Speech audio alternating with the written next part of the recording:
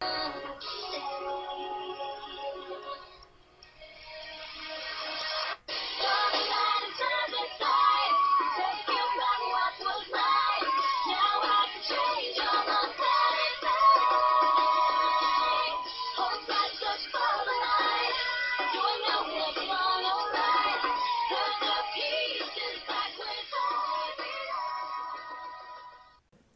Greetings and salutations. This is Notorious.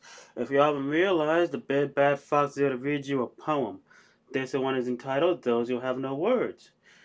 I'll be perfectly honest with you, I'm fucking tired. So, I'm to try my best to do this in one take. If I can't, I'll do it tomorrow when I get back from my interview. So,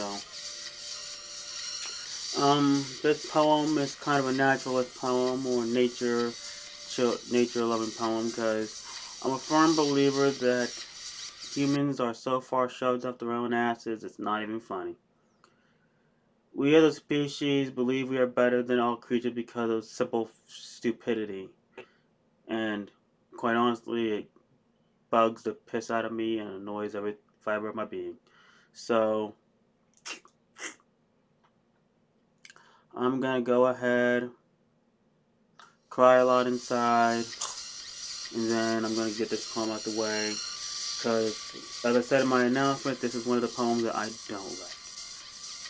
And if my announcement comes after this, as I will say in my announcement, this is one of the poems that I don't like. It's not the fact that I think it's a bad poem, I think it's one of my better poems, to be honest. But I do not like the feeling it gives me. I hate being raw as everyone in the poetry community knows. And because I think Raw is overdone, it's overrated.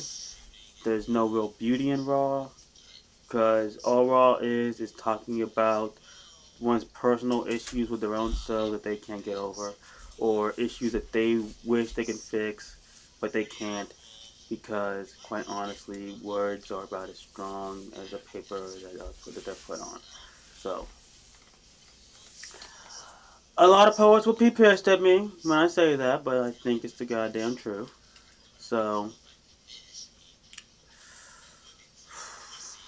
I see poetry as an art form. It's a platform, I know it is. You can use it to say whatever you want, to do whatever you want, but for me, it is simply art. And as art, it is most beautiful when the creativity of the mind is able to truly show itself and I think Raw kind of rips away from the creativity and just goes with bare instinct. So, sorry I'm kind of yammering on. These are just my feelings. You'll probably hear, hear this almost at a repeat when I do Evolve or Die. So, again, this is Notorious.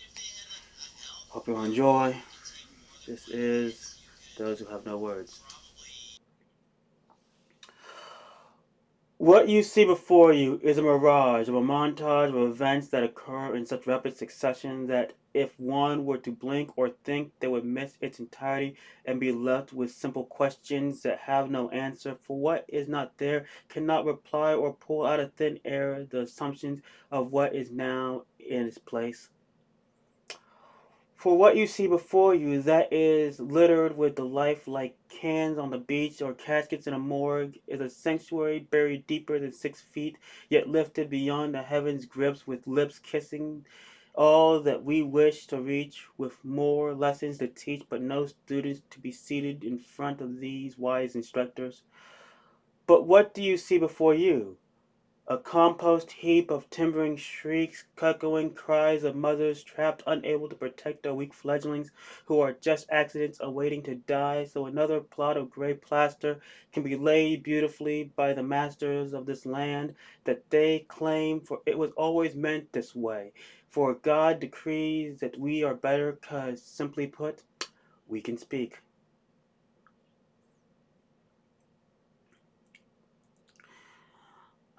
I'll listen to it and see how it goes. But you can probably tell I'm not here. I'm doing the John Cena and I'm not here. I can't see me.